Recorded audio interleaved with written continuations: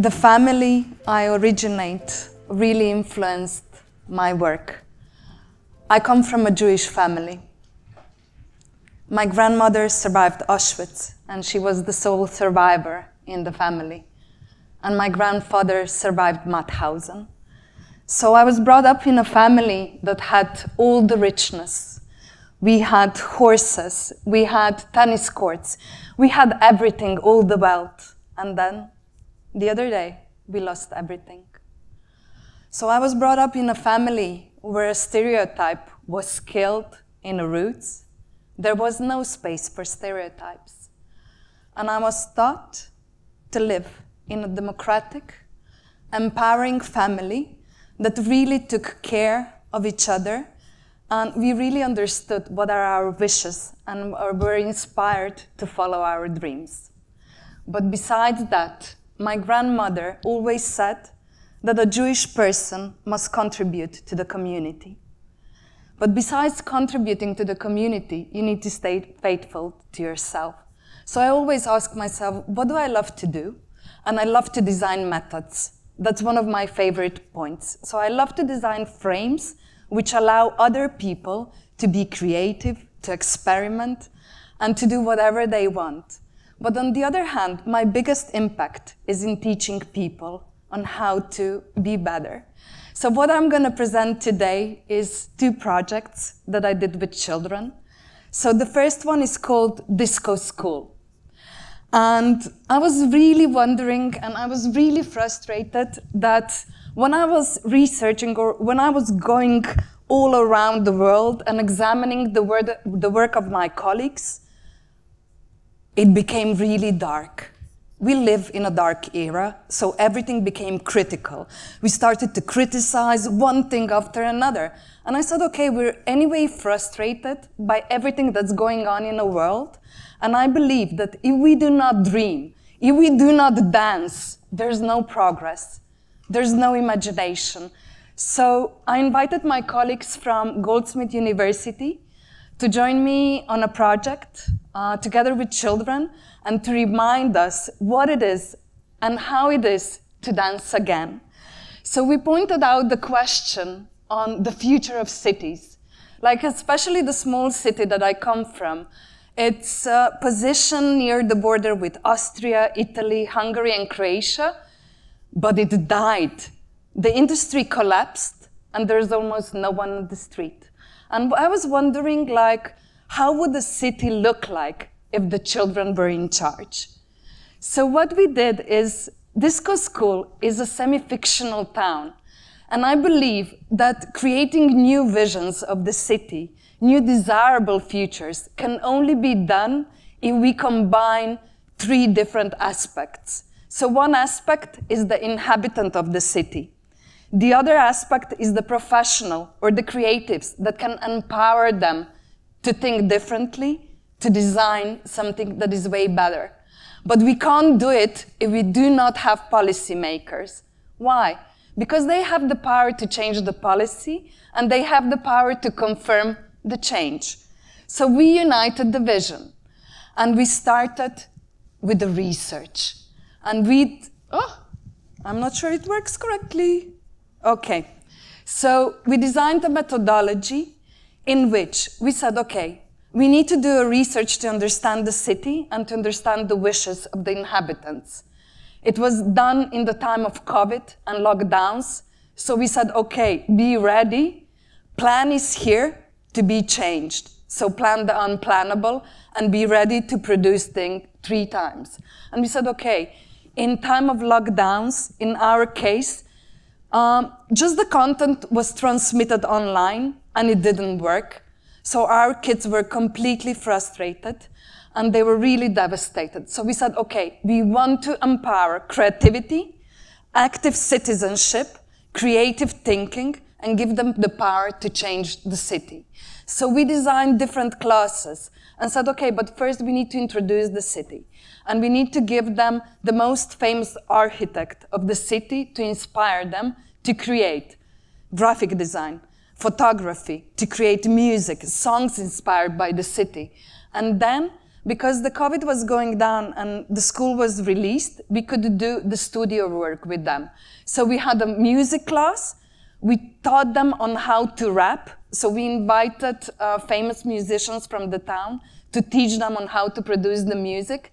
And later on, we built a participatory exhibition together with them. But the first thing, the research included the interviews, but not only with children, but with historians, with a single mom, etc. But we didn't do it in an ordinary way. Why?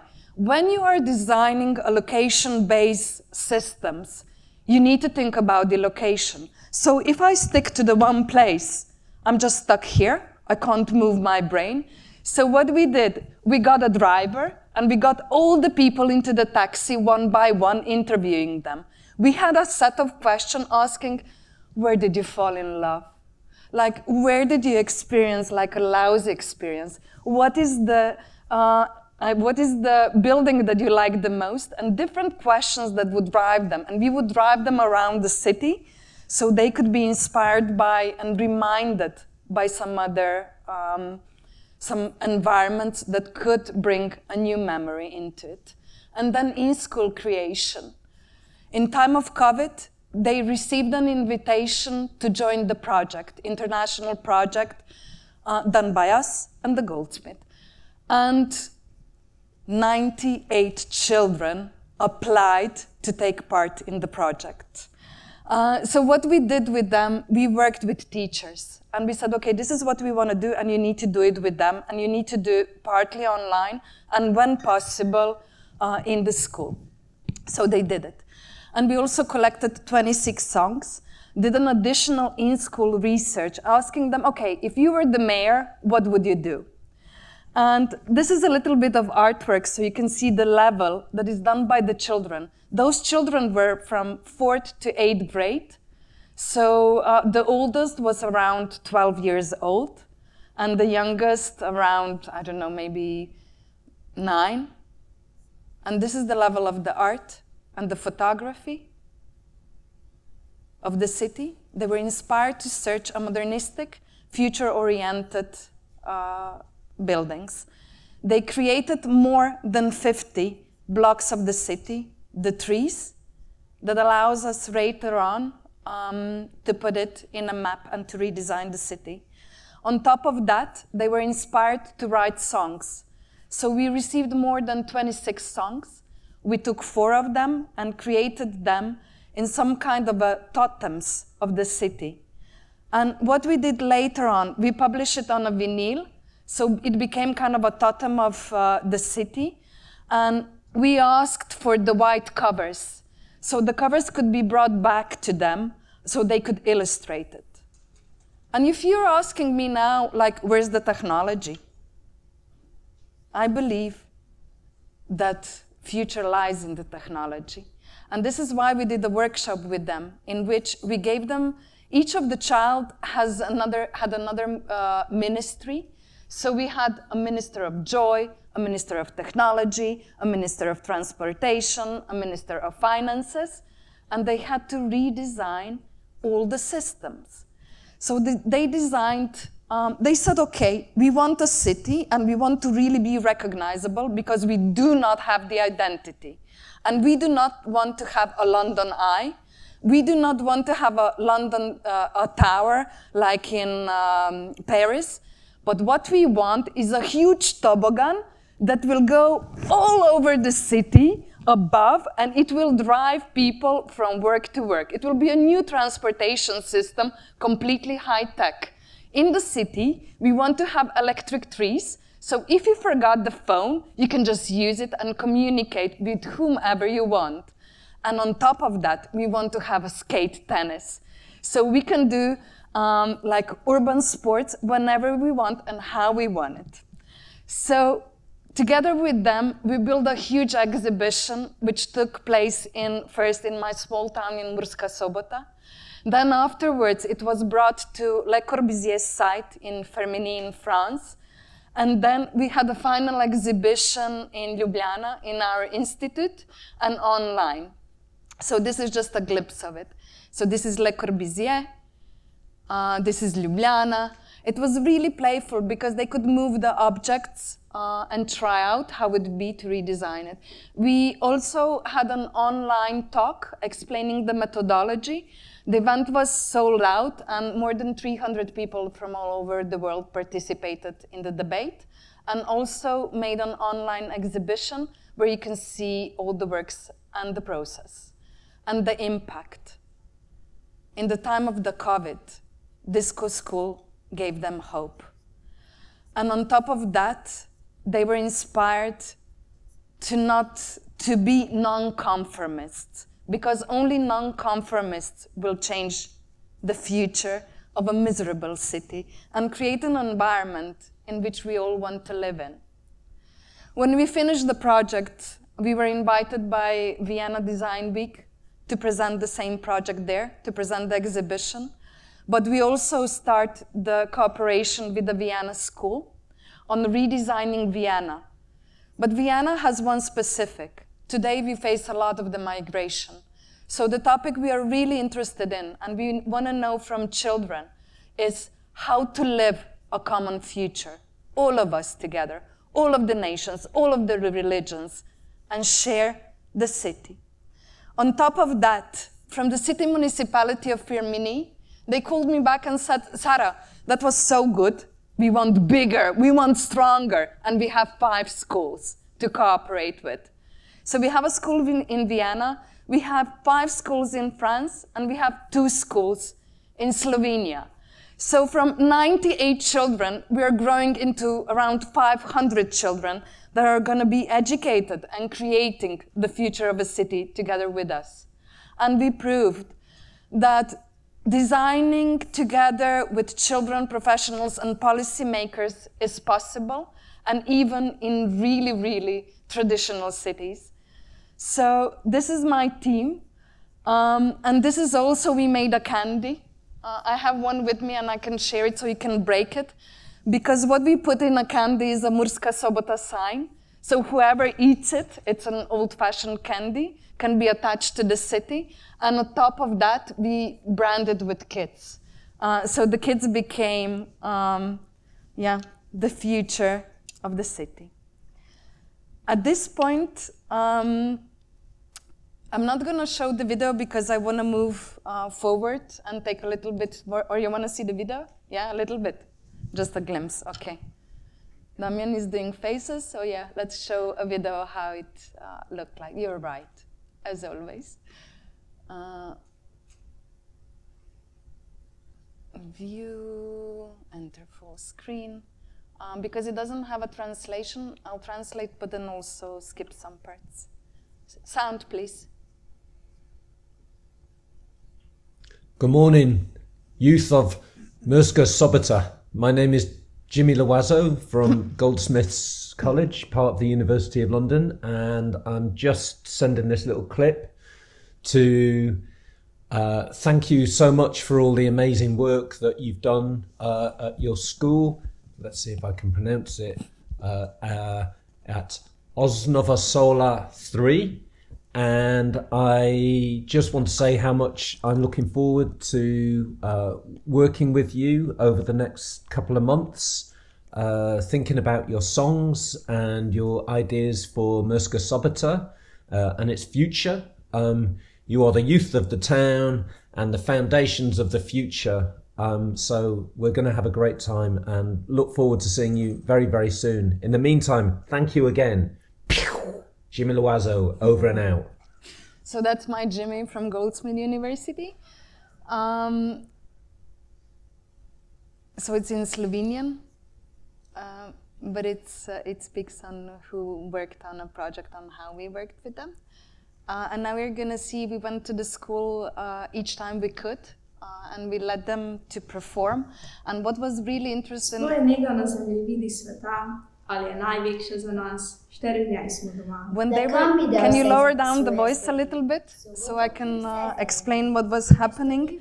So when they were writing songs about the city or about the future, there is so much symbolic into it. So one child wrote like, and if you go to this and this place, everybody is not drinking cocktails, but eating them. so you could really understand like the emotion uh, of the city and how they felt. Uh, we also taught them on how to perform and how to speak. Um, and then when we finished, um, we had all the research and conversation, and what it came out were really essential for the policymaker. So we made some kind of uh, recommendations for the city on what to implement next. Because one of the main findings was that in the city we miss places for urban sports, and that we do not have culture which would be uh, sufficient for our kids or the culture uh, that is inspired by the technology. So this is one of the our uh, this is the Ministry of Finance. Uh, she was fighting the inequality, uh, and she really uh, created a social policy. So she's the Minister of Culture and Fun, and they're really explain, explaining what they want to do in a city.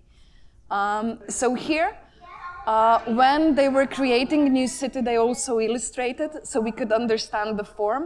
Uh, so it wasn't about just, they created the whole system. And this was Matt.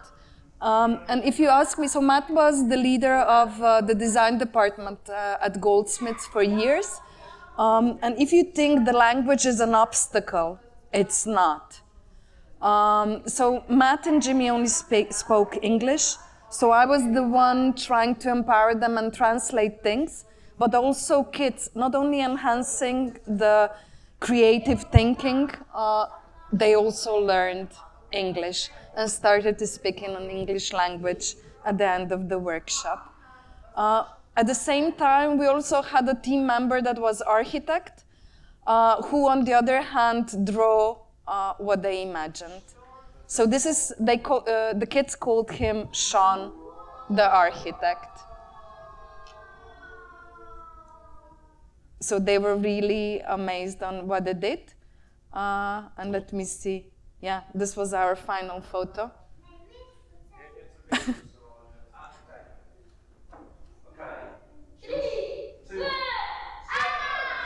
Kaj mislite? Za koje Zakueta Kleiber of Tigder Taylor.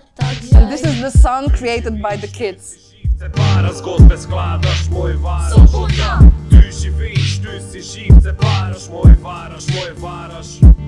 Sobo, ti so vse rovni, odločil včasih skate dolgo.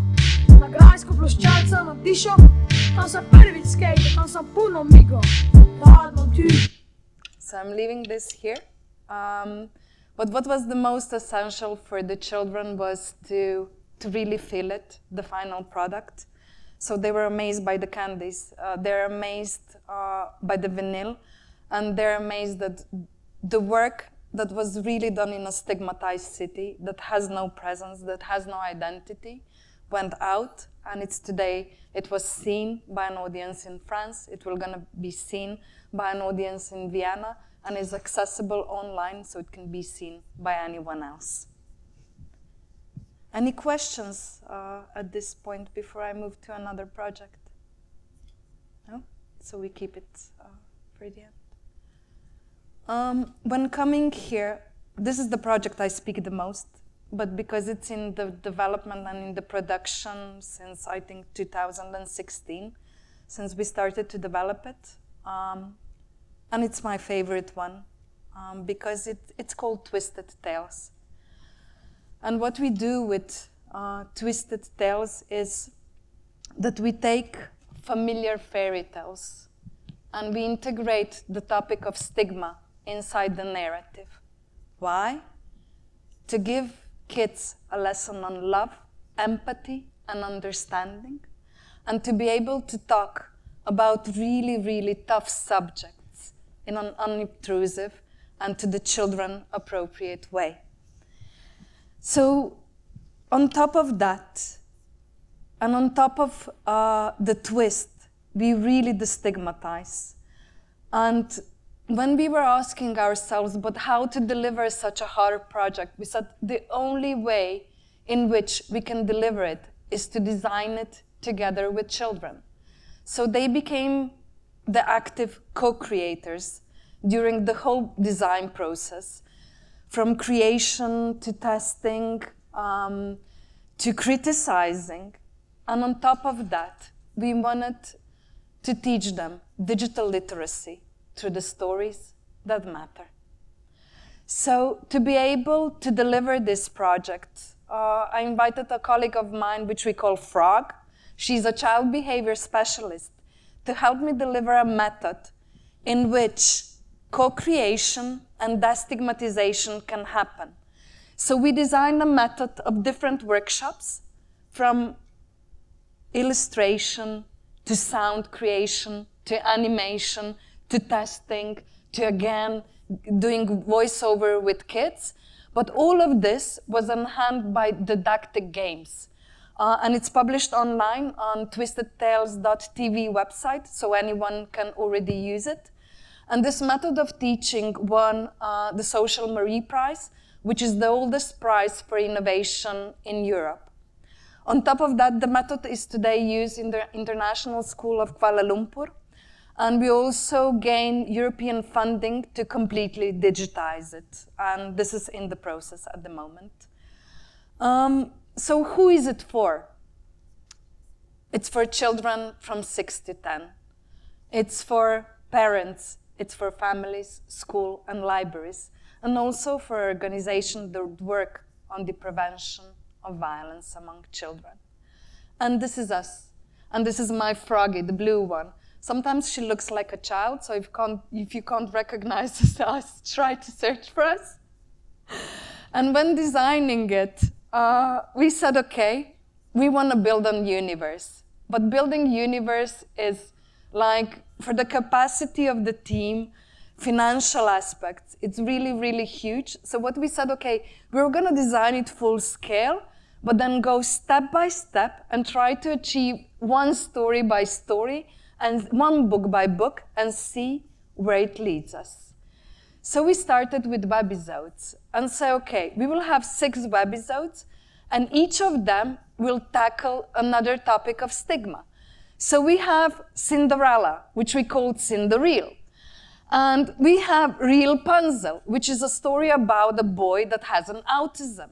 So we twist it. And we have Ugly Duckling, which we call Not So Ugly Duckling. Why? Because it's a perfect story to speak about racial abuse, about white and the black. But let me go into the first one. So Cinderella, in our case, is a story about the girl that doesn't have a leg. She walks on crutches. And she has only one wish to come to the dance, to dance, and not to marry a prince. Why? Because she came to dance, and because we wanted to kill a stereotype. I was brought up on a Cinderella, and the message of a Cinderella is that the girl should wait in a castle for a white rich prince, and the white rich prince will save her. Is that so? Is that the real life? I say no. So in our case, she really wants to dance. And how we did it? We did it through the workshops I explained before. So the first session was about the illustration, so we could understand their aesthetics. Uh, and then the second, they created the sound, so they brushed the floor. Um, they imitated the sound of the stepsister, the stepmother, etc. And in the last one, they animated it. But to show you the process on how to co-create with children. So it's always the child is the author, but then the adult comes and supports them in this process. So at first we try to understand, okay, what are the colors used by them? So this is the color palette that came out. What are the patterns? Like how they do it, what's the movement, and what they want to achieve. So we started to design and taking more and more objects. So we took eye from a one, a child's uh, drawing and then the hair from the other. And we tried to create a character that could work in all the mediums that we predefined. Then we implemented the color palette, and at this stage, we came back to the children and tested and said, okay, this is what we designed based on what you told us to design. Does it work? And they laughed. They were dying because they said, okay, come on, stepmother, yeah, she's mean, but who can have such a big ass? No one has such a big ass. And come on, grandmother with the pink hair? No one has a not even one granny has a pink hair.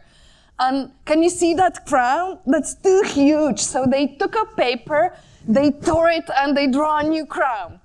And we returned into the office like with a huge headache, and we thought, oh my gosh, what did we went into it? Like we just can't neglect it. It didn't work at the time. So we need to fix it and try to find the balance, what can work and what can't.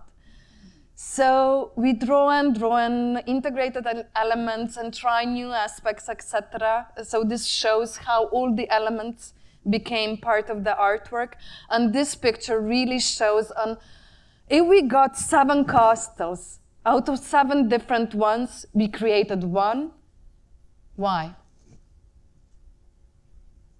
To show to a child that singular approach doesn't work, only teamwork does opposite to the solitary. So they could see how to become empowered by the whole team. Then, after we did a pilot, uh, we created an augmented reality book. Uh, so we did an extension. The book is going to be published in four languages in November, prior to the Christmas. So I'm speaking about the first one, about the Cinderelle. We did, of course, lots of the testings, um, and we created magic we said, okay, first we did uh, a prototype with the gaming elements, and we saw that um, for our audience it didn't work that well. Uh, so we said, okay, let's just create a magic. That's even enough. So the illustration become live, and at the end of the book, we left uh, blank colors so the children can add their own drawings. And then we said, okay, but if we want to have a sustainability, can we drive it forward? So we, we designed um, additional stories that can work as a TV series. But then we came up with an even better concept, and it's like this would work better. So the TV series, it's called Fairy Real Squad, and we actually take out the main characters from the six episodes. So from The Princess and the Real Frog, where the frog always stays the frog because frog is a frog, we took a frog and then, all good? Okay. Then we took Cinda, then we took our Ralph with autism, and we put them all in one scene. But how is this participatory? We do a lot of interviews with kids. We ask them, like, what are the challenges that you face? Do you face bullying? How does it go? Do you face color blindness? Can you tell us more? So we take real case scenarios from kids, we turn them into the scripts, and we turn them into a series that empower, we don't solve problems for them, but we empower them to solve them for themselves. And this is our characters.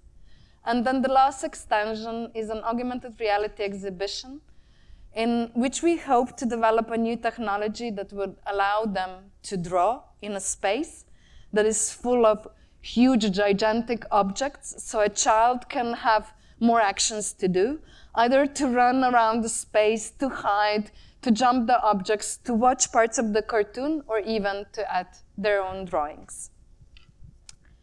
And of course, the educational pro program. Educational program just got around uh, a little bit less than 300,000 euros. And we're at the moment producing uh, four audio books in four languages uh, in four different countries and launching them prior to the Christmas also. But this education program will have an app that will allow you to go, it will be audio-driven method that allows you to co-create with the whole family or only a child by its own, and then give us back the our artwork. So this con constant process of a participation with an audience actually never ends. Um, this is just a calendar and then the budget. And at the end, just a bit of part of the amazing team that is behind it. Success. Um, we closed down the European funding, Slovenian Film Center funding, Portuguese funding, Croatian funding. We were invited by Kids Regio to take part in Berlinale. Wherever we appeared, we got the award. Um, but I believe the biggest awards are the kids. I usually use this one and say just living is not enough. But today I'll use another one because Hans Christian Andersen once said, Life is like a melody. Only the lyrics are sometimes messed or fucked up. So, um, I don't know if you still do have 15 minutes of attention. Do you want to see the film? Yeah, let's watch the film. So I'm not allowed to show the film, so please don't film it because we have we didn't have a world premiere yet. Uh, we're going to Japan really soon. Um, we only had the right to do local premieres with kids in Croatia and Slovenia. So this is just a test phase to see if the story is universal enough to work on all the markets. Uh, so enjoy it. Voiceover was done by kids. Uh, we took them from the workshop. Uh, the voiceover in English and French was done in school in Kuala Lumpur as part of uh, their educational process. So we go from school to school um, and engage in all levels that in, we can. So, I mean, it's really created uh, by them.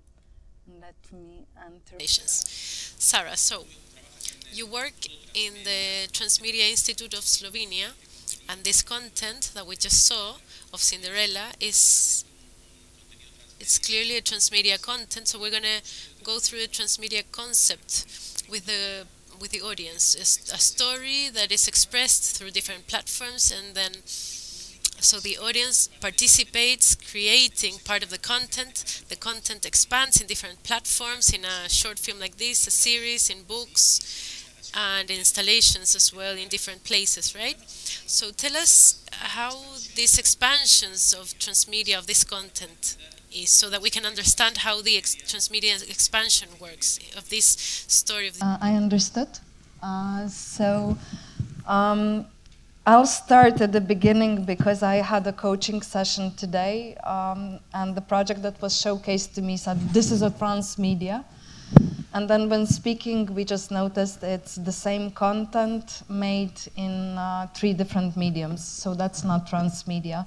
In transmedia, we need to have at least two mediums that depends on each other. And we need to have that expansion, then Damian really explained it well. Um, and in points of uh, the Cinderella or the Twisted Tales, we question a lot if the, because we have a film that is a traditional medium, and then we have the same story in an audiobook in four languages, and then we have the same story adopted to the augmented reality book. Uh, and we have the same story that can be used in an educational program. And we said, okay, do they jeopardize each other? And we really tested it, and we find out that no, they do not, but they complement each other. Why? Because each child is different. And some children like to watch more the cartoons, the other ones like to read the book, some really like to listen, or some need an inspiration to draw, to create. Uh, and in such manner, we left them to decide, like, just choose the medium you want to hear the story, and the one you will be able to identify.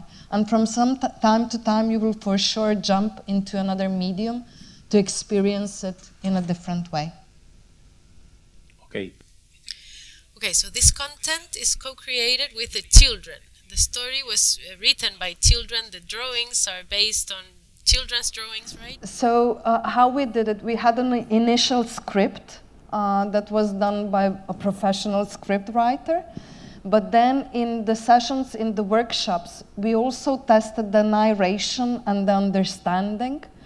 And also through, when we filmed the voiceovers, we tested the dialogues and the dialogues didn't work, so they killed them. It meant that at the end we would always go a step back And instead of, I don't know, an example, um, I have two legs, if they would say this doesn't work, or I can't say it like this, we- would say, okay, it doesn't work. How would you say it? So in each step of the process, we integrated their own narrative. So they said what needs to be said. And maybe sometimes, if I look at as a director of the film, sometimes I'm like, ooh, but that conversation doesn't work like in all the other films. But of course it doesn't, because it was, uh, it was actually adopted by children. And it's the way the child would do it, and not an adult for a children. And so this series has different versions. No, sorry, the, the, the series has uh, stigma. And there's this uh, kid that uh, lacks a leg, and there's other stigmas. So, so how do you treat it? What are these stigmas that you work? So the methodology is always the same. The methodology is designed, it is tested, it is also used in other schools, and it works. So we use the same method in different environments. So, in example, at the moment we are working on Real Ralph, which is a story about the um, the boy with an autism, and this is done in Romania by the children in Romania. Why? Because each of the stories done in another environment. In example, Princess and the Real Frog.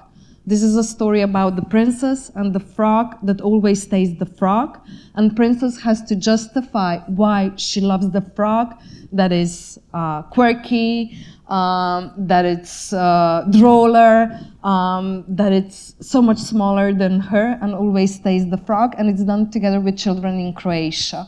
Why? Because we need want to understand uh, expressions of different children and work in different environments and see where that brings us.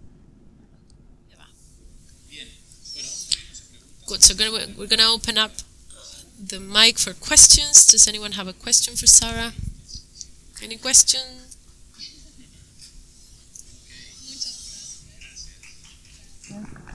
Uh, maybe just to finish, because we did a lot of testings. And the last time I showed it in a school, one of the kids said, This is like the best cartoon I ever seen in life. And I said, Come on, on top of all the Disney cartoons, on top of everything what you have, how is this the best film that you saw? And she said, Because this film has a heart. And I believe the hearts of many children have been integrated uh, in this project, uh, and it's not us making it, it's them. So thank you. Gracias, Sara. Muchísimas Muchas gracias. Un aplauso para Sara. para-